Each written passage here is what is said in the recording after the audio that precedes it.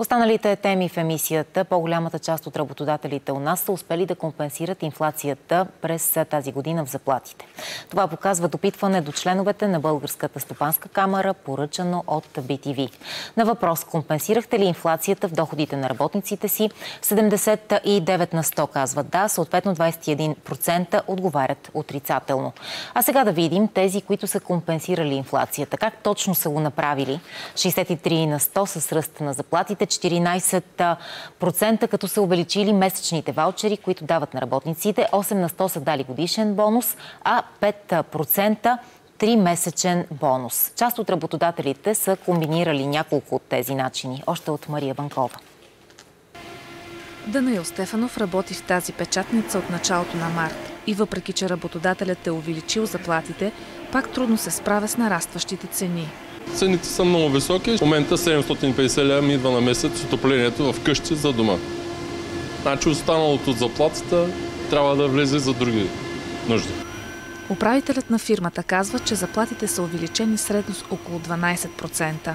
В момента, в който установихме, че има леко успокояване на, на тенденциите на, на суровините и материалите да не повишават по-високи граници, предприехме увеличение на основната работна заплата, както и на заработките. Предвиждаме и коледни бонуси.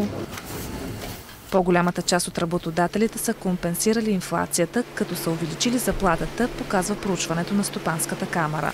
На второ място, като са увеличили ваучерите за храна.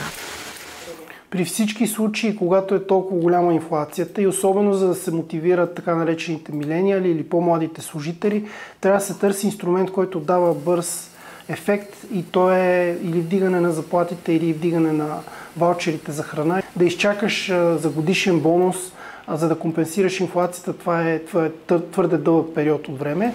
Една пета от фирмите не са успели да компенсират инфлацията. Разбира се, една част от бизнеса не е могъл да се справи с това предизвикателство и то е обяснимо. Няма как при всички приходите да са се увеличили, защото има компании, които работят на поръчки, които са отдавна направени при фиксирани цени. Очакванията за покачване на цените и по-конкретно на цената на труда кара повечето работодатели да включват в плановете си за 2023 година ръст на възнагражденията, показва още проучването на Стопанската камера. Всеки пети обаче планира запазване на заплатите до година. За BTV новините Мария Ванкова.